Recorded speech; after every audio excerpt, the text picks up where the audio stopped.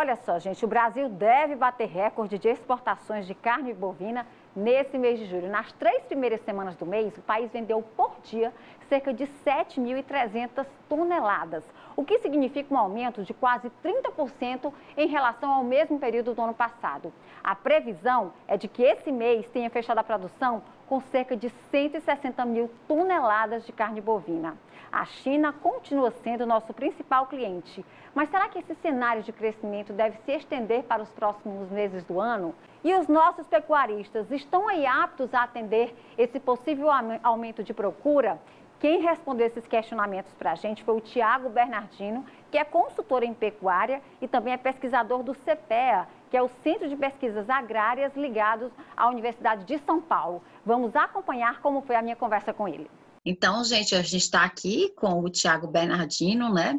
Que é um nome nacional da pecuária, né? Consultor especialista. E é um prazer estar recebendo. Tudo bem, Tiago? Tudo bem, olá a todos. É um prazer estar aqui junto com vocês na Meio Norte.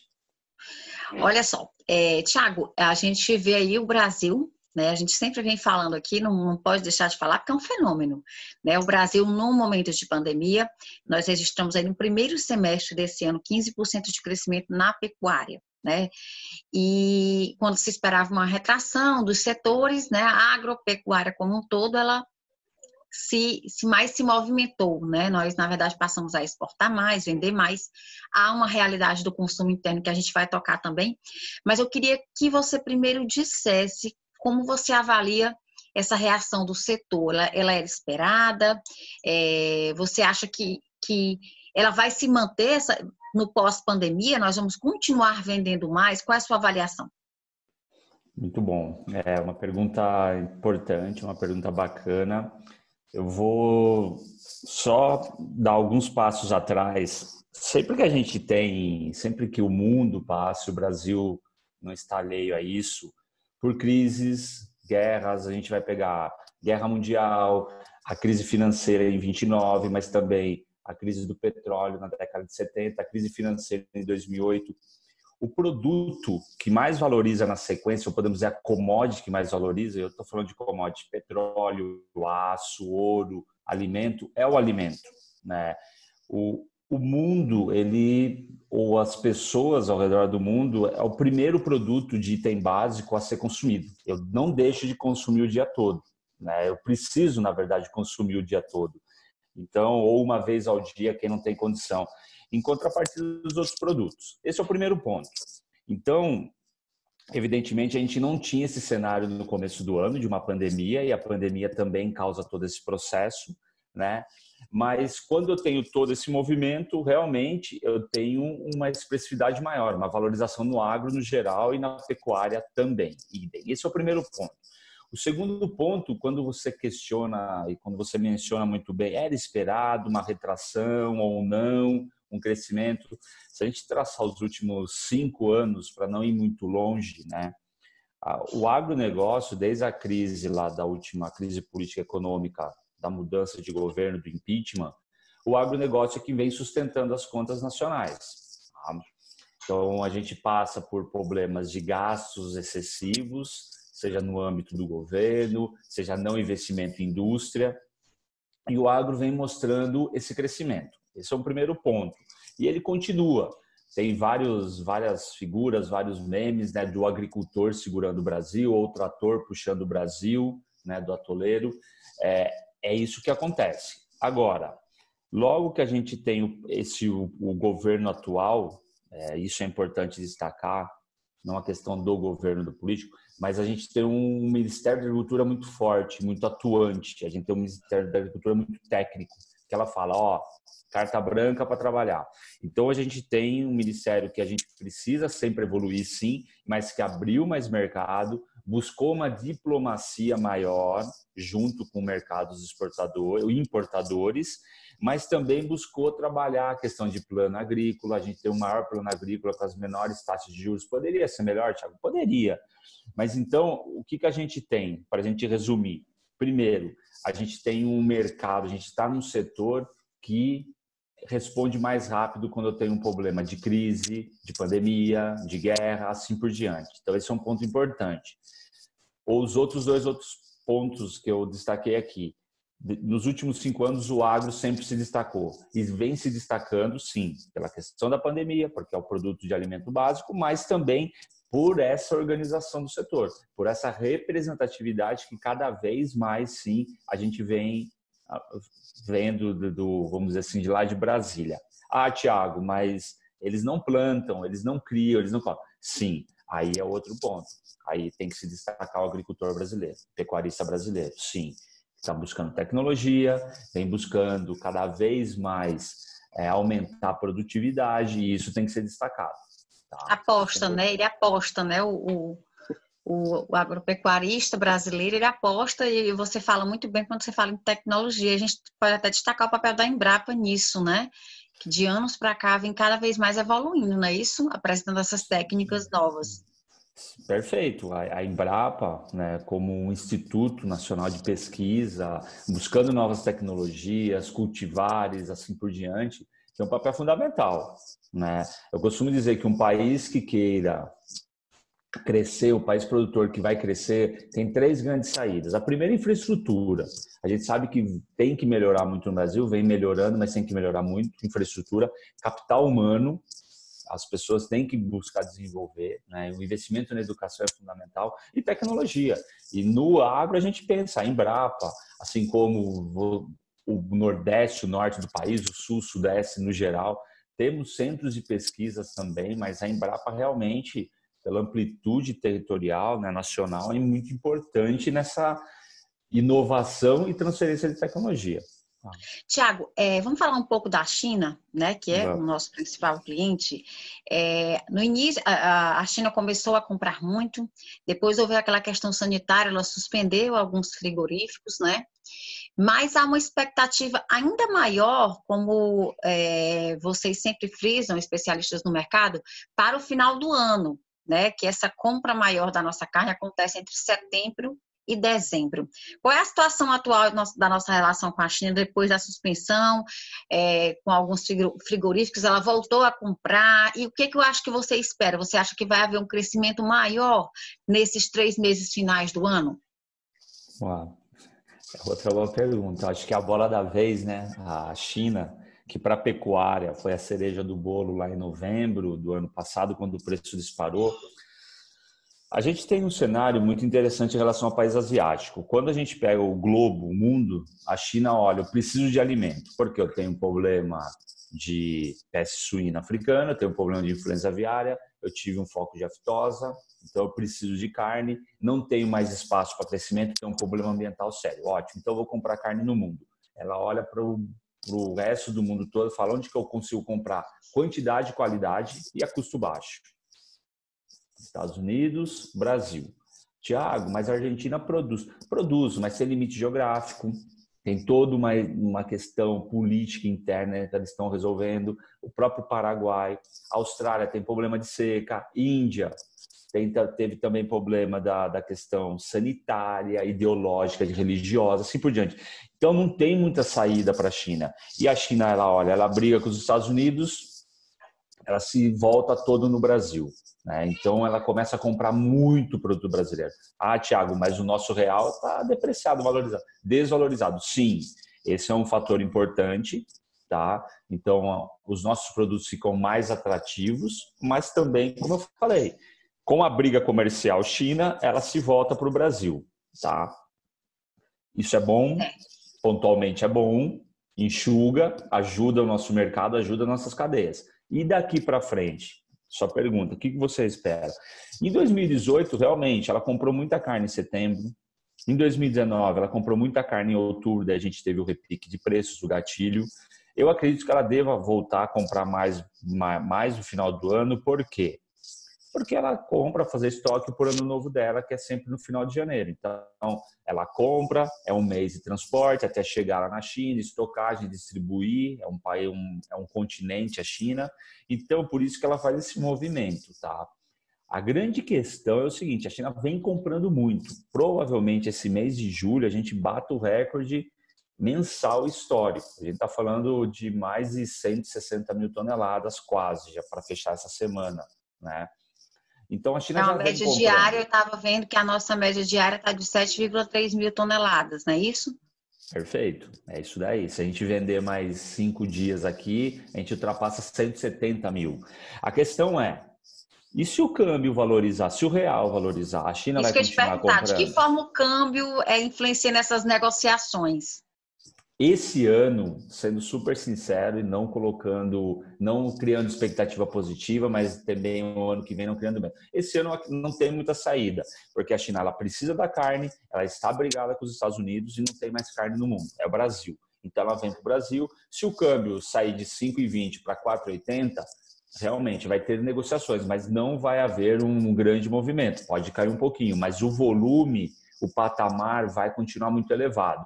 Pode ser que não tenha uma compra excessiva para o final do ano, mas eu acredito que sim, vai se manter. Outro ponto importante é o que, que vai acontecer. Um ponto bacana para a gente começar a pensar é na próxima eleição dos Estados Unidos, que é agora no final do ano. E se o Trump sai? Se o Trump sai e o próximo governador lá dos Estados Unidos, presidente, ele vai sentar com a China, ele vai negociar com a China? Eu vou exportar mais soja, mais milho, ou até mesmo proteína? Pode ser. Então, é um ponto para a gente ficar atento. Eu, eu, eu falaria para o agricultor, para o pecuarista brasileiro, ficar atento ao câmbio e essa eleição americana, que pode sim trazer novos cenários, sim, exatamente para o ano que vem. Mas no médio prazo, no curtíssimo e no médio prazo, a China depende do nosso produto. E mesmo na, na sua própria introdução, perdão, você falou da suspensão ela suspendeu cinco, seis frigoríficos num montante de 104, é muito pouco, mas já voltaram a comprar. Por quê? Ela depende da nossa carne. É, eu queria agora te perguntar uma coisa. Na contramão desse cenário, né, enquanto a gente cresce em exportação, há uma redução no consumo interno. 70% hoje da nossa produção é para ficar no Brasil, né? Mas a questão do poder aquisitivo das pessoas, com o desemprego, muitos negócios, né, empreendimentos como hotéis, restaurantes que não funcionam, né? Isso fez diminuir essa nossa é, demanda de consumo interno. As exportações terminam compensando isso? É, como é que você vê essa questão, Tiago? É, é, você usou uma palavra boa, interessante, é uma compensação. Eu acredito que esse ano sim, tá? Eu acho que as exportações vêm compensando a China vem compensando esse movimento. 70% da nossa carne fica aqui e a gente tem um problema de renda. Foi até já falado pelo governo que talvez tenha um problema sério a partir de setembro em termos de desemprego, né? Porque vai minguando ajuda. Infelizmente, tem um limite. A gente, como eu falei, a gente vem de uma crise, né, de mudanças de governo, precisando aplicar reformas e não tem muita saída. Por isso que o anseio de voltar realmente girar a economia, né? Esse é um ponto. Então, o consumidor, ele retrai, porque realmente só falta renda, eu saio de uma carne bovina, eu vou para um frango, eu vou para um ovo, eu vou para uma carne suína, uma carne ovina, independente das regiões até mais competitivas de uma carne bovina. Então há essa troca, tá, de consumo. Então o mercado consumidor brasileiro interno né, deve ser mais enfraquecido em contrapartida de umas exportações firmes. Né, e os pecuaristas brasileiros estão preparados para atender essa demanda de fora? Eles estão e vêm se preparando e vêm se preparando, tá? Eu acho que tem muita coisa a ser feita, né? Mas a, o pecuarista ele ele aprendeu que apesar de todo esse movimento aí de ah, eu compro mais um ano, compro mais um período do, do ano ou no mês, assim por diante, Rússia fecha, entra uma China que seja. O consumidor, o produtor brasileiro, ele sabe que ele, ele tem que produzir mais arrobas, ele tem que produzir mais quilogramas de carne para reduzir custo e sabe que o brasileiro também aprendeu a comer carne. Por mais que a gente tenha essa questão de renda reduzida, o brasileiro ele, ele quer mais qualidade ele vai talvez comer menos, mas a qualidade ele sempre vai querer. Então, o pecuarista, ele sabe dessa importância de colocar, sim, qualidade, tecnologia dentro do, da produção. Então, ele está preparado, realmente, tem espaço ainda para o crescimento. A gente acabou de falar de tecnologia, de pesquisa, como a Embrapa. É preciso continuar desenvolvendo, mas o, o pecuarista está preparado, sim. Hoje o preço da roupa está variando, né? 220, já pode chegar a 225. Você vê, prevê uma explosão com essa oferta, aliás, com essa procura maior? Pode haver uma explosão de preços, né? Pode haver um aumento aí para chegar a 250 arroba. Qual é a sua previsão? Qual é a sua visão sobre isso? Essa é, eu, é a pergunta feita todo dia, a pergunta do milhão, podemos dizer assim. Eu acho que a gente tem espaço para crescimento. Evidentemente, a gente está falando, fecha ontem um preço São Paulo 226, é um preço muito forte, sabendo que a gente. Mas a gente tem que lembrar sempre é, que é, são os efeitos. A gente está sem. Você falou um termo aí, a oferta. A gente não tem oferta, então é oferta e China. Juntos vem deixando o mercado equilibrado. A gente vai entrar em julho, terminando julho agora, mas entrar em agosto com baixa oferta. Eu acredito ainda que em agosto ele se sustenta, né? A grande questão é o volume de animais confinados que o Brasil central e confina muito gado de agosto a dezembro. E muita gente jogou para confinar no final do ano. Isso não quer dizer que vai cair o preço. Não estou falando isso, porque a gente tem a mão da China que vem enxugar. Mas esse equilíbrio é importante. Eu acredito sim numa arroba dos 230. Ô, Thiago, tá faltando pouco tempo. Eu acredito sim. Mas se a gente colocar 250, não sei que a China comprar muita carne. Porque 250, se eu pegar uma alcatra, um corte aí que é padrão, não tô falando nem uma picanha contra filé filé mignon, nem um coxão mole, coxão. Alcatra, uma alcatra 250, muita gente sai do mercado. Né? Quanto que vale no mercado uma alcatra de um boi 250? A não ser que a China comprar toda a alcatra, então. Por isso, eu tô, tô colocando esse ponto para a gente balancear. Então, se o câmbio cai um pouco, se o, se o boi gordo sobe um pouco, há um equilíbrio, tá? Mas eu acredito sim num horizonte muito firme e positivo para a pecuária esse segundo semestre, podendo sim ultrapassar os 230, sim, tá? Mas não chegando a tanto, né, como a 250, porque pode prejudicar, né, isso as vendas.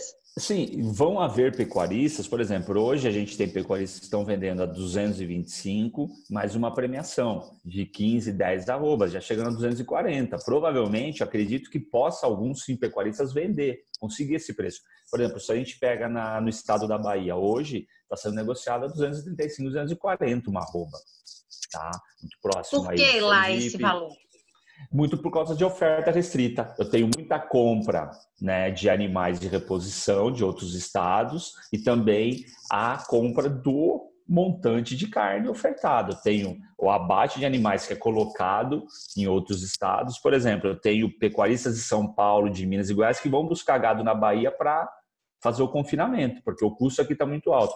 E isso reduz a oferta lá, inflaciona o preço do boi, inflaciona o preço da carne. Então tem esse movimento apesar de todo esse cenário negativo, a gente vê alguns estados sim com preços maiores. Então, eu acredito que alguns estados sim podem chegar, até alguns produtores receber por premiações, etc. Mas a média nacional, eu acredito que possa sim passar 230, mas sempre ele cada vez mais vai se acomodar. Tá? Vamos avaliar então agora os outros mercados também de proteína, frango, suinocultura, ovos, como é que está esse mercado? E também houve crescimento, né? Carne de porco principalmente o sinocultor, depois aí de dois anos, até o final de 2018, onde houve uma redução de produção, porque realmente teve uma crise no setor, entra 2019 e, lógico, 2020, com, de novo, com a China, com problema chinês, com peste suína, mas outros países também, e a China precisa comprar esse produto. Então, desde 2019, mas principalmente esse ano com a pandemia, houve um crescimento muito forte preços recordes, exportações recordes. Então, é um setor também que está se destacando em exportação, juntamente com o frango. O frango é aquela carne que é, vamos dizer, mais consumida hoje no Brasil, pelo custo baixo, pela questão do efeito saúde, mas também pelas exportações. Se a gente exporta algo em torno de, em média, aí, 150 mil até um pouquinho menos toneladas de boi, né, carne bovina por mês, a gente está falando de mais de 300 de frango muitas vezes. Então, é um volume muito grande. O Oriente Médio compra a nossa carne. Então, são dois setores que estão já bem estruturados, principalmente o frango, mas os suínos cada vez mais com as exportações para a China. A suinocultura tem que tomar cuidado daqui uns dois anos. O ano que vem, acredito que não, 2022. Por quê? A China já está se reestruturando. A China é a maior produtor de suínos do mundo, teve o problema. Aliás, está comprando os nossos grãos para a criação de, do, dos porcos, né, de lá. Perfeito. Soja, milho, tudo para lá. E eles vão se reorganizar, eles vão continuar, porque é uma carne estratégica para eles. eles o, o governo dá subsídio para manter o produtor no campo lá, suínos. Então, mas é um setor que tem um, um cenário interessante nos próximos meses, sim, continua, graças a Deus. Agora, e ovo? Ovo é aquele, aquele produto né, muito barato, que ele pode ser usado para o consumo direto, até mesmo subproduto, pão, uma massa, e mais que vem se mantendo. Na pandemia, tanto o ovo como o leite foram os que mais valorizaram no começo, lá no final de março, começo de abril, né? Teve a questão da quarentena, da, perdão, da quaresma também. Da quaresma. Que, que sempre a gente tem um volume maior de consumo de ovo, né? Por causa aí da, da do período cristão mas o ovo vem se mantendo firme. Eles não aumentaram a produção, porque tradicionalmente, segundo semestre, o preço do ovo cai, então eles mantiveram a produção e, por ser uma proteína barata, houve valorizações atrás de valorizações. Então, são setores que vêm se destacando, seja pelo mercado externo, seja pelo mercado interno bem aquecido, por causa Aí, então... do preço barato eu é, só boas notícias, eu acho, né, para o nosso mercado agropecuário. As avaliações são boas no momento em que a gente sabe que o, o mundo vive uma crise econômica, né, e que outros setores do Brasil também vivem, estão em crise, né. Então, para a agropecuária, há previsões boas, pelo menos até o final do ano. Eu espero, Tiago, poder voltar aqui com você ainda esse ano, para a gente já fazer uma avaliação do mercado para 2021, tá bom? Sim. Fica o convite tá. para você. Convite aceito, é um prazer né, estar tá aqui com vocês. É importante a gente passar informação, né? Até pela importância. Para finalizar, eu queria que você deixasse um recado para os agropecuaristas, principalmente os pecuaristas, né? Para tá. esses próximos meses aí de trabalho. Ótimo. Então, como você disse, é, a gente está, não vou dizer numa ilha, mas a gente está num setor que realmente vem é, se destacando em detrimento dos outros. Tô, a gente está falando de alimento. E o recado que eu deixo para os pecuaristas para o final do ano, para o ano que vem, é que o movimento de preço é cíclico, gente. O movimento de preço agropecuário é cíclico. Eu acho que vocês têm que olhar para dentro da, da porteira, para a fazenda de vocês, ter um bom controle dos números, de custo, porque o preço ele pode oscilar vou ganhar mais em um período, vou ganhar menos. Mas se eu tiver um custo ajustado, eu tiver uma produtividade maior, com certeza, sim, a sua margem de produção sempre vai ser positiva. Então, o meu recado é esse: vocês vão ganhar com preços em determinados momentos. Esse ano, esse é, é o momento de ganhar com preço. Mas vão vir anos que vocês vão precisar ganhar com produtividade. Então, aproveitar esse momento bom arrumar a casa e saber que vai ter dois, três, cinco anos positivos para frente, tá bom? Esse é meu recado. Um prazer aí participar desse programa, tá? E fico já registrado aqui a minha volta até o final do ano, sim. Obrigado. Ok. Obrigada então, tá bom, Tiago? Um abraço a todos.